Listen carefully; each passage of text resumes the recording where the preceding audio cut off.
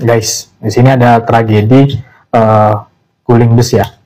Nah, kita tidak ada niat buat untuk uh, akan terjadi seperti ini, tapi uh, ini adalah kasus-kasus yang mungkin setidaknya bisa minimalisir uh, kecelakaan ya atau nyawa seseorang. Jadi di sini ada uh, yang bus abal-abal, yang tidak standar, terus ini adalah asli dari Edi Putro, karoserinya langsung, dan ini adalah laksana, aslinya langsung, original ya. Oke, kita bahas dulu yang uh, ini nih, yang paling teman-teman mungkin jauh berita yang sebelumnya, apa yang dekat-dekat ini. Jadi ini ada kasus bus kecelakaan tergulingnya di uh, Guci ya, uh, daerah cu daerah Curam ya. Itu sangat tinggi sekali kalau teman-teman kalau lihat videonya tuh. Dan ini diisi oleh full penumpang, full muatan ya. Uh, coba kita cek kembali lihat apa dari hasil googlingnya nih. Di sini yang apa palingnya cuma artinya plat-platnya saja. Rangkanya masih aman masih mulus ya. Padahal kalau di video itu sangat curam sekali itu penumpangnya penuh barang bawaannya penuh ya. Tapi apa yang lihat masih kelihatan cuma pet-pet sedikit lah artinya. Terus yang kasusnya dilaksanakan di jalan tol. Tuh masih mulus. Sampai guling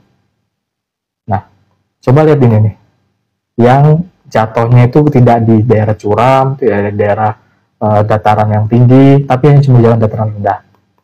Ya kalau lihat di videonya. Dan itu lihat, sampai patah nih tuh, sampai ke bawah masuk dalam nih loh. Hmm, masuk ke dalam. Nah, ini mungkin aja Pak di sini yang bisa membunuh orang-orang sini, masih teman-teman siswa kita di sini. Ini bahaya nih, ada perhitungannya nih. Ini yang patah Nah inilah bahaya tuh sampai patah gini semua. Ini bisa nusuk sobek-sobekan besinya bisa kena orang tersebut nih. Nah makanya itu kita harus belajar dan ilmu tentang uji guling. Ya, ya memang karena ada yang bilang alasannya karena rem, remblong. Nah, yang bikin masalah jadi remblong tuh apa? Ya karena penentuan apa berat berat besi ini loh gak sesuai mesin tahun 2006 dipakai dengan bodi tinggi yang panjang gini dan harus uh, kerja rem itu lebih keras lagi. Akhirnya aus carinya belum itu loh masalahnya yang kita jadi masalah bodinya. Oke kita cek ya tentang regulasi uji guling ya.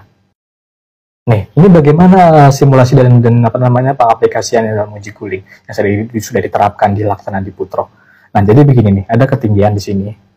Lantai 800 ya. Nah terus langsung digulingkan. Oke dan apa yang terjadi? Dan yang paling terkena adalah bagian atap. Nah, sambungan atap dan rangka samping.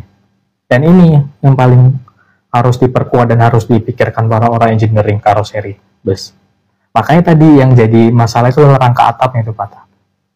Oke, ini ada yang saya jadi menarik lagi nih. Ini adalah COG. COG adalah titik uh, pusat dari berat total bus, kayak berat mesin, AC, uh, eh, transmisi, tangki dan lain-lain semuanya uh, harus ada ini adalah titik pusatnya. Kenapa kok nggak pas tengah ya? Ini ada sebelah kiri ini. Nah, teman-teman bisa tahu nggak bisa menjelaskan nggak kenapa di sini regulasinya tidak pas di tengah? Kenapa harus pinggir ini? Apakah seperti prinsip di nih, prinsip di ilmu garden ini loh? Ada tujuannya nggak? Kenapa? Coba lihat garden ini. Pasti tidak tengah-tengah, dia agak miring ini loh. Teman-teman mungkin ada yang bisa bantu jelasin nggak komen di bawah ya, teman-teman semua.